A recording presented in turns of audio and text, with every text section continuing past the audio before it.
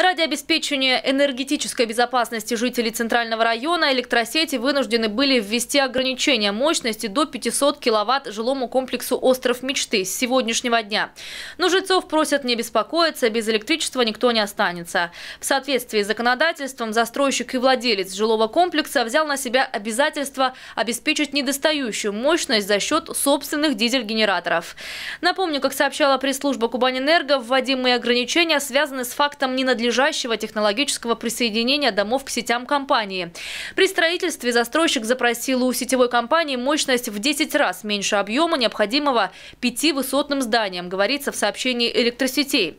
Следствием стали частые отключения электроэнергии не только в острове Мечты, но и в окрестных домах.